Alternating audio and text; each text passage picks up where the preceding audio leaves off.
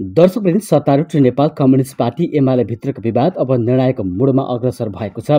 वरिष्ठ नेता माधव कुमार नेपाल आफ्नै पार्टीको सरकार विरुद्ध सत्ताइस सांसद लिएर विपक्षी गठबन्धनको कित्तामा उभिएपछि एमाले विभाजनको सङ्घारमा पुगेको निष्कर्ष निकाल्न थालिएको छ। विवाद समाधान गर्न गठित दस सदस्यीय कार्यदल पनि बिल खबन्दको अवस्थामा पुगेको छ। यसैबीच नेता माधव कुमार नेपाल समूहले गठबन्धनको पक्षमा उभिएका आफू निकट सांसदहरूलाई संस्थापन पक्षले धम्क्याउन थालेको आरोप लगाएका छन्। प्रधानमन्त्री केपी शर्मा ओली निकट नेताहरूले राज्य सत्ता दुरुपयोग गर्दै धम्काइरहेको प्रलोभन देखाएको उनीहरूको आरोप छ।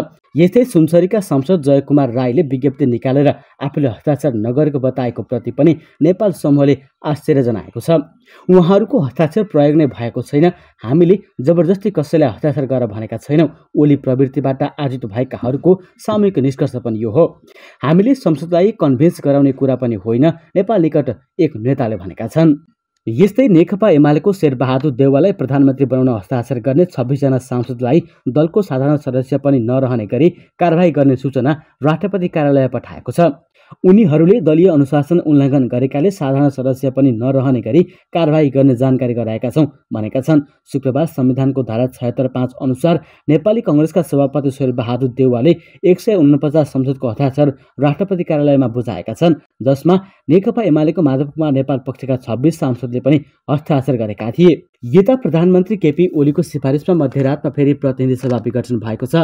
शुक्रबार राति आकस्मिक मन्त्री परिषद बैठक बोलाएर ओलीले बाह्र बजेर पचासमा प्रतिनिधि सभा विघटनका लागि गरेको सिफारिस राष्ट्रपति विद्यादेवी भण्डारीले एक घन्टापछि एक बजेर उनपचास मिनटमा घोषणा गरेकी हुन्।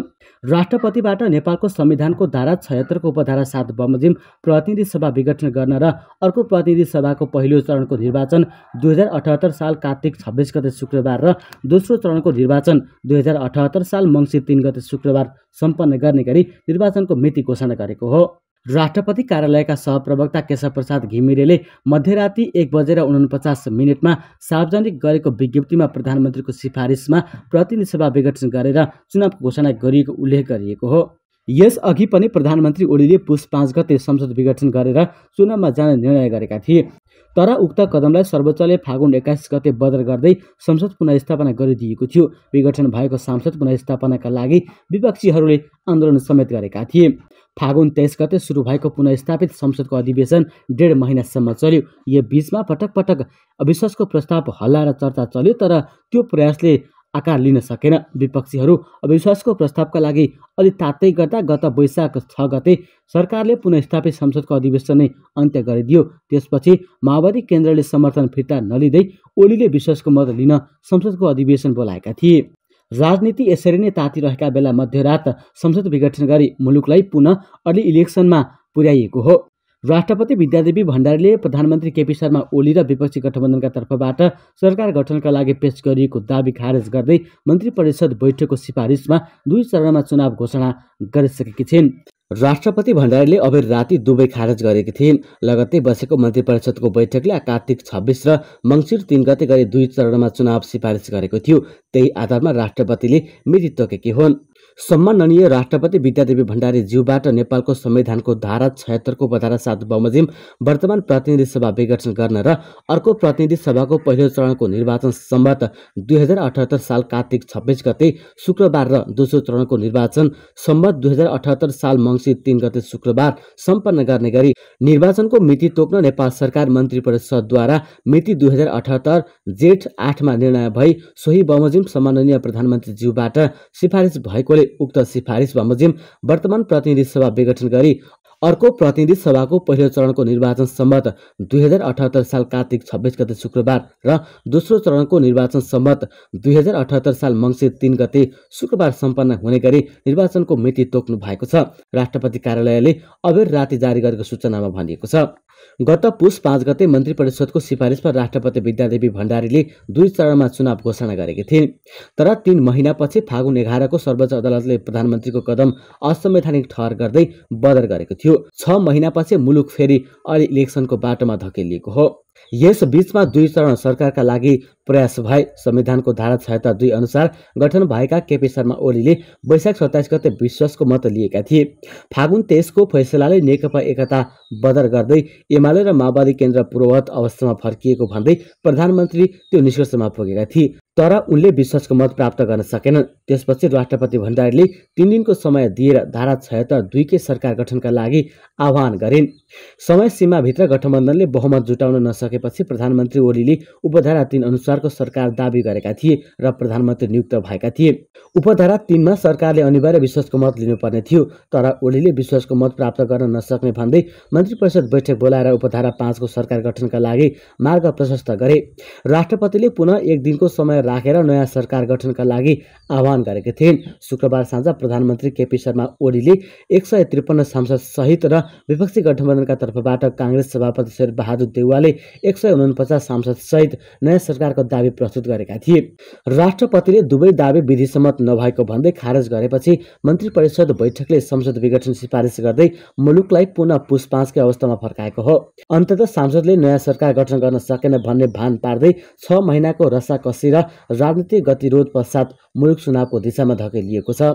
दर्शक नमस्कार। राष्ट्रपति विद्यादेवी भण्डारीले संविधानको धारा छयत्तर पाँच अनुसारको प्रधानमन्त्री दावी गर्न दिएको समय सकिएको छ। उनले बिहिबार एक्काइस घण्टाभित्र प्रधानमन्त्रीमा दावी पेश गर्न समय दिएकी थिइन्। शुक्रबार पाँच बजेसम्मको समय दिएकोमा नेकपा एमाले संसदीय दलका नेता केपी शर्मा ओली र प्रमुख प्रतिपक्षी दल नेपाली कङ्ग्रेसका सभापति शेरबहादुर देउवाले दावी पेश गरेका छन्। देउवाले माओवादी उपेन्द्र यादव पक्ष र माधव नेपाल समूहका सांसद सहित एक सय उनपचासको दावी पेश गरेका छन्। उता जसपाका सांसद सहित ओलीले एक सय त्रिपन्न जनाको संसदको समर्थन रहेको भन्दै दावी पेश गरेका छन्। राष्ट्रपति भण्डारीले हेरेर काम गर्ने प्रतिक्रिया दिएको विपक्षी गठबन्धनका नेताहरूले बताएका छन्। राष्ट्रपतिले प्रतिनिधि सभामा दुई वा दुईभन्दा बढी दलको बहुमत सहित दावी पेश गर्न दिएको समय सीमाभित्र ओली र देउवाले आफ्नो पक्षमा बहुमत रहेको भन्दै दावी पेश गरेका हुन्।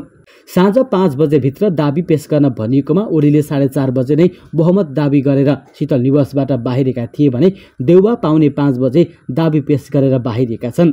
ओलीले नेकपा एमाले र जसपाका एक सय त्रिपन्नजना संसदको समर्थन रहेको दावी गरिरहेका छन्। त्यस्तै देउवाले काङ्ग्रेस माओवादी जसपाका अध्यक्ष उपेन्द्र यादव र एमालेका माधव नेपाल पक्षको समर्थनमा एक सय उनपचासजना संसदको हस्ताक्षर बुझाएका छन्। दुई नेताले बहुमत दावी गरिरहेकाले अब राष्ट्रपतिले दुवैले प्रस्तुत गरेको आधार अध्ययन गरेर प्रधानमन्त्रीमा नियुक्त गर्ने तयारी बनाएका छिन्। यसैबीच राष्ट्रपति विद्यादेवी भण्डारीले प्रधानमन्त्री केपी ओलीलाई थप जिम्मेवारी सुम्पेकी छिन्। सांसद नरहेका सात मन्त्रीलाई काम गर्न सर्वोच्चले रोक लगाएसँगै मन्त्रीविहीन रहेको मन्त्रालय सम्हाल्ने जिम्मेवारी प्रधानमन्त्री ओलीलाई नै तोकेकी हुन्। राष्ट्रपति कार्यालयले शुक्रबार जारी गरेको विज्ञप्तिमा अदालतले दिएको अन्तरिम आदेश अनुसार मुद्दाको टुङ्गो नलाग्दासम्म प्रधानमन्त्री नै जिम्मेवारी सम्हाल्ने गरी जिम्मा तोकिएको उल्लेख गरिएको छ? संसदमा विश्वासको मत प्राप्त गर्न सक्ने कुनै आधार नभएको भन्दै ओली आफैले बिहिबार वैकल्पिक सरकार बनाउन माग प्रशस्त गर्ने भन्दै राष्ट्रपतिलाई सिफारिस गरेका थिए। त्यसकै आधारमा राष्ट्रपतिले संविधानको धारा छयत्तर पाँच अन्तर्गत प्रधानमन्त्रीमा दावी गर्न आज पाँच बजेसम्मको समय दिएकी थिइन्। ओलीले आजै शीतल निवास पुगेर फेरि प्रधानमन्त्री पदको दावी गरेका छन्। प्रधानमन्त्रीका मुख्य सल्लाहकार विष्णु रिमालका अनुसार नेकपा एमालेका एक सय एक्काइस र जनता समाजवादी पार्टीका तेइस गरी एक सय त्रिपन्नजना संसदको समर्थन रहेको भन्दै ओलीले फेरि प्रधानमन्त्री पदको लागि दावी पेश गरेका हुन्। यता शीतल निवासमा विपक्षी गठबन्धनबाट नेपाली कङ्ग्रेसका सभापति शेर बहादुर देवाललाई पनि प्रधानमन्त्री प्रस्ताव गरी नेताहरू दावी पेश गर्न पुगेका छन्। प्रधानमन्त्री ओलीले भने विपक्षी गठबन्धनभन्दा अघि नै शीतल निवास पुगेर फेरि दावी पेश गरेका थिए।